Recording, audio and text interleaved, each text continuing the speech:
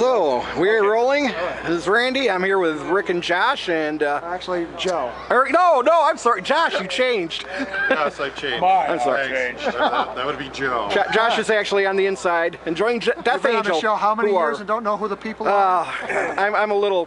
This is my second show this week, so I'm a little scrambled in the head. Yeah. But uh, yeah, COC uh, just kicked ass, and uh, this is Karl. Well, yeah. To be fair, technically, it's not corrosion conformity proper. But- confor- but, no, but, but, corrosion. corrosion of conformity blind. Well, the reason we make that delineation or whatever is not because um, it, it's just a matter of respectfully showing the fans what we're out to do. And Yes. What this what we did tonight is a part of a, a legacy special event, for lack of a better description, to bring an album that was part of a great legacy.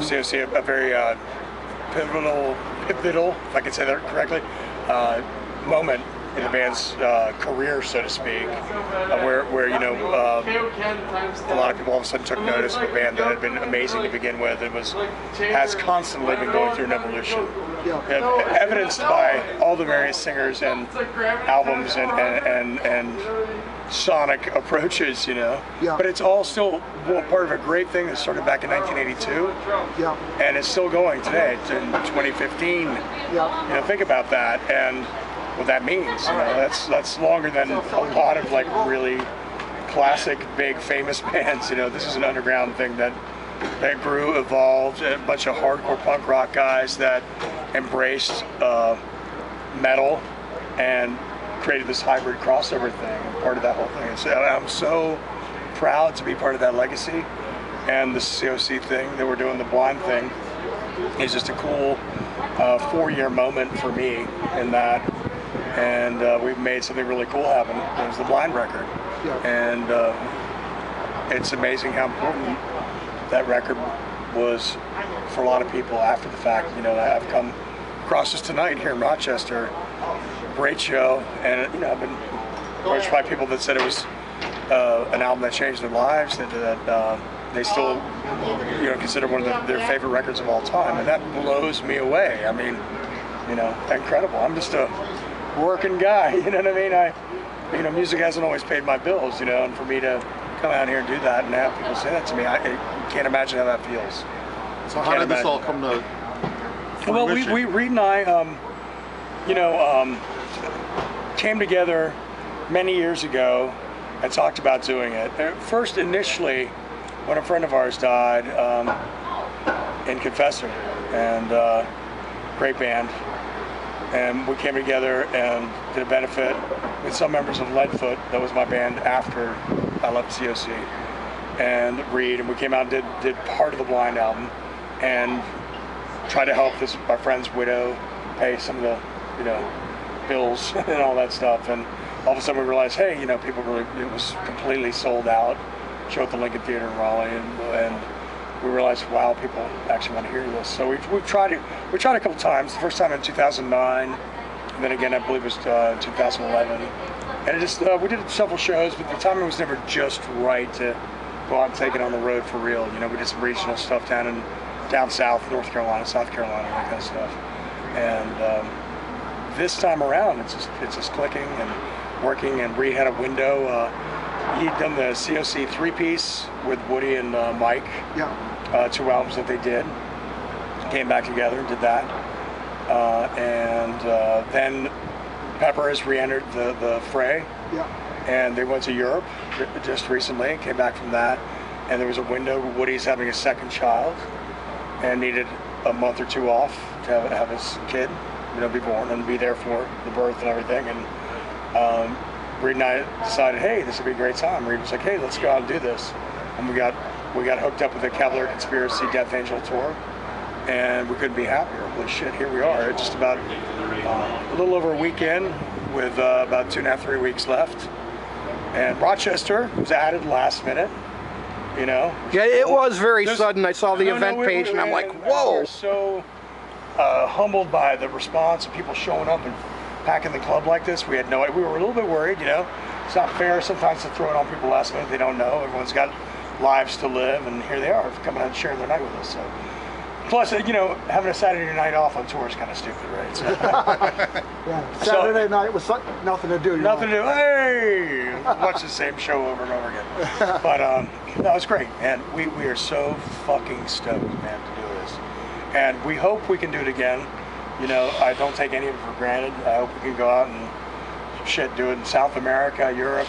You know, I got connections to uh, guys that want to book us in Beirut, Egypt, Nice. Turkey, Cyprus, and I would do it in a heartbeat. I really would. You know, you know why? Because there's awesome metal and hardcore fans all over this planet, man. And that's like an amazing thing that unites so many people.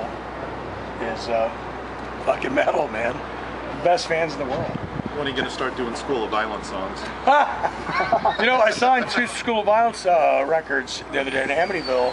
We played. He almost bought one before we came out here tonight. He's like, I- I, I'm- should I'm get this. Quite proud of that album. You know, it was, no, I, it was cool. Why is it not on CD? It- it's, you know why? I don't know. That's ask ask Brian Slagel, Yeah, Death Metal, you know, Death Metal Blade, man. yeah. Yeah, I'm still, you know, th- those guys are out there. You can ask them. I guess, you know, it would be a specialty issue. I'm very uh, proud of that. I'm friends with the guy, the guys, uh, Stegman. Steg, Stegman Heinz, and uh, no, I've, I've the glory of Facebook. I've reunited with him online. He's out in California building uh, choppers and stuff. He's really happy doing that. Power to him. That's shit. I would do that. I did a reunion uh, two years ago with my first band out of Connecticut, Seizure, my hardcore band. A 25 year reunion. That was pretty damn awesome. Nice. So I was in the Connecticut hardcore scene, uh, Southern Connecticut, the, the Anthrax Gallery, uh, the, the we had every great band coming through. We were really close with the New York and the uh, Jersey hardcore scenes, and that's where I first saw COC in 1984 with a band called Butt Meat opening up for them. Butt and then, Meat? Butt Meat, and then uh, and then after that in 1985, Seizure opened up for COC in Springfield, Massachusetts, and I kept seeing those guys playing, coming through Connecticut and New York in that area, and um, had a you know little friendship going with them or whatever. And then I heard that they were, you know, I was in School of Violence. Then I left School of Violence, and all of a sudden I heard that they were looking for a singer. And I, we had some mutual friends, and in fact, they had an ad in the Village Voice in New York that said looking for a cross between HR, Ian Gillan, and uh, Alice Cooper was one of them. Another one was HR, James Hetfield. They had two different ads that Reed put out. And I saw that, I was like, really? Well, shit, I better give him a call. That's uh, totally my, up my alley. So uh, I went, and got the gig, man. It was it was like May of '89, and I was totally it was awesome. Nice. Wait, yeah. Now what about this band? Oh yes, yes, King Hitter. King Hitter. Ah, yes. Yeah, that that is um, How many people in COC Blind are in this? three. Yeah, thank you, thank you for asking. I thought you'd never ask, sir. Uh, no, it, it, it uh, is uh, three of us. Obviously, Scott Little, who is on uh, stage left. Uh, I've been playing with him for 16 years. He's been playing. He played on the uh, second and third Leadfoot albums. There's only three out there. If anybody's heard of Leadfoot, uh, and uh, then our buddy um, Mike Brown, who had been in bands uh, with him before me, and we were just uh, Scott and I have been talking. We've been doing Leadfoot for a long time, and reached a point where things weren't really clicking. A lot of lineup changes. It's not officially dead. We reserve the right to bring it back anytime, you know. But um, thanks, brother. Thanks. Thank you very much. Thank you. Um, so it just we were we haven't been- busy at all, and we wanted to get together and play some um, heavier stuff. And we had mutual friends in different bands, and uh, a band that was signed to Sony for about 10 seconds, like everybody else was, uh, called Sex, Love, and Money out of Greenville, North Carolina. Really, very good band, and the drummer. Um, uh, John Chambliss and the bassist Chuck Manning have been playing together for you know for 20 years, like some of the rest of us, and uh, they came available, and it was like this instant killer, you know, rhythm package that showed up as a team, you know, and we knew them from back in the day, and and Scott and Mike have been playing together forever, and I don't want, I mean, I don't want, the details are kind of not that exciting, but we got to, we were getting together just on the weekends to try it out, and all of a sudden it was clicking, and everybody in the band writes music, including John, the drummer. You know, people are So it's it's a very communal, cool thing. And all of a sudden we had five songs. We were just gonna go demo like one or two, and we had more than we expected. We tracked five and said, you know what? Let's see if somebody wants to put this out. Well, We're really proud of this stuff. And here you have the King Hitter EP. And we have over half the next album written. We should, we're continuing to write and should be in the studio hopefully the uh, fall winter of this year 2015 and have it out in 2016 really really cool. Available on Candlelight Records. um, well yeah it's technically paula hogan candlelight usa has put it out under her other um, imprint uh, restricted release. She also has manic music plastic head a couple imprints. Uh, she's a one woman army. She's amazing. She's done so much for us. Um, incredible incredible person and uh, we're really proud to be a, part of her team and she's got us out there and a lot of people responding and giving us a really good feedback on this EP. So we're psyched. And as a matter of fact, we're out with Cavalera Conspiracy and Death Angel on this tour and Lody Kong. And Reed is pulling off to do a COC four-piece show at a beer festival, Dark Lord Beer Festival in Munster, Indiana. And we happen to be playing in Joliet on a Friday night and Milwaukee on a Saturday night, and he has to pull off. So we're flying the bassist and the drummer out. and King Hitter's going to fill in for COC Blind those two nights nice. on this tour. So that's pretty fucking radical. Yeah. That's cool. you know, that's like a great way to field test it on a big tour out in the middle of, you know, Yeah. in, in, the, in the heart of this country, and we're so excited about it. So, and, and then hopefully we'll be starting to pick up dates, uh, you know, come the summer and fall, and do some regional touring and expand. Know, it's a five-song EP, so it's we're lucky to be getting this much attention and positive uh, feedback. We want to take it out worldwide, obviously, but uh, you know, we're gonna walk before we can run. You know, so we'll see see if people are picking it up. What do you? Uh, how's the response been to the uh, to the vinyl of Blind being reissued?